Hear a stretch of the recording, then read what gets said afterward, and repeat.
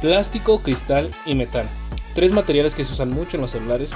Quédate, vamos a ver sus pros y sus contras y cuál recomiendo yo o cuál es en mi opinión el mejor para tu celular.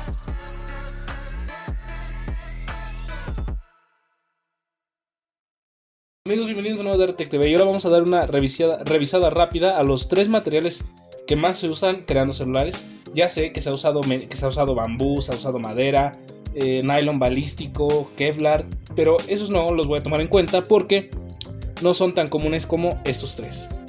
Cada uno, como ya dije al principio, tiene sus pros y sus contras y vamos a verlas de rápido y en este orden. El plástico tiene la curiosa capacidad de ser muy duradero, a pesar de que se raya, sí, se puede llegar a, a, a, lo mejor despostillar o eso, es muy raro ver que una tapa de plástico se quiebre. Por lo regular absorbe muy bien las caídas. También ofrece la posibilidad de carga inalámbrica. Eso es algo que se me olvidó enseñarles ayer en el video del Galaxy S3. Pero este tiene aquí esos pequeños contactos que se le permite adaptarle un pad de carga inalámbrica. Entonces el plástico sí permite la carga inalámbrica. Si bien no tan eficiente como otro material. Pero existe la posibilidad. Siguiente, cristal. El cristal tiene sus, sus puntos a favor que es la carga inalámbrica es mucho más veloz con cristal que con plástico. Y aparte es mucho más bonito, la manera en que se siente, se siente mucho mejor un equipo de cristal y a la vez se ve más bonito. Se, al tacto, el tacto del cristal es mucho mejor que del plástico, mucho, mucho mejor. Pero también tiene sus puntos en contra. Pasemos ahora al metal. El metal tiene la misma, ah, tiene la misma capacidad o la misma calidad o la misma ventaja de ser igual de duradero que el plástico, sí se puede abollar o rayar, pero nunca vas a ver un metal quebrado, estrellado. Y le da una sensación de pesadez a tu equipo, le da una sensación, de firmeza y de tacto frío que se siente un, un equipo de metal, que estos dos no pueden igualar también.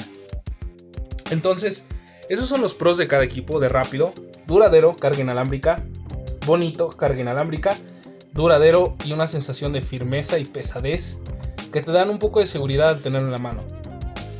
Ya hablando de las cosas que tienen en contra, es muy fácil ver que el, plástico es feo. No hay otra manera de decirlo, el plástico es muy feo.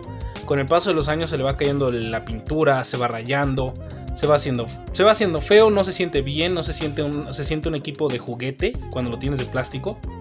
Sí, hay plásticos de mejor calidad que este que tengo aquí en la mano, la cámara que están viendo ahorita es la del Redmi 6A y su plástico, si bien no es de la mejor calidad, se siente mucho mejor que este. Eso es el plástico. Una cosa muy mala del cristal, muy, muy mala, es eso. No sé si se puede ver ahí en la cámara. Ahí está. Se estrella. No importa cuántas fundas le pongas, no importa qué tan cuidadoso seas con tu equipo, alguna vez se te van a caer. Y el cristal es muy probable que si cae mal, desde la primera te quede así o incluso te quede así. Entonces, sí es muy bonito, sí te da la carga inalámbrica, se siente un equipo premium, se siente un equipo de dinero, pero se te va a caer, se te va a estrellar y por lo regular reemplazar una tapa de cristal es mucho trabajo y es muy cara. Pasando al metal, el metal en mi opinión no tiene un punto muy en su contra, más allá del hecho de que no tiene carga inalámbrica. Sabemos que la carga inalámbrica funciona mediante inducción y el metal pues no puede, simplemente no puede pasar la carga a través de esta tapa de metal y ese sería su único punto en contra yo, yo diría.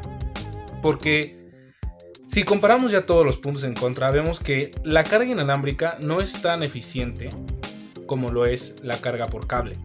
Tampoco vas a caminar a la calle y va a haber cargadores inalámbricos ahí en la banqueta o en las bancas para que las uses en cualquier momento con estos dos. En cambio, si cargas un equipo de metal, sabes que si se te cae, pues a menos que caiga de pantalla, es poco probable que se te estrelle. También se sienten más firmes, más pesados, más duraderos.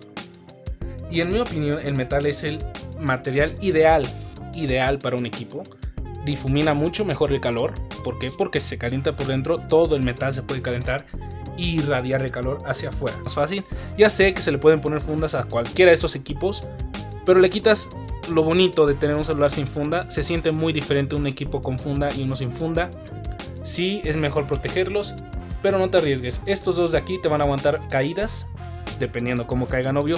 los equipos que traen todo cristal no son muy duraderos. Amigos, eso sería todo por este video. Espero les haya gustado. Recuerden suscribirse, darle like y compartir. Nos vemos en el próximo video.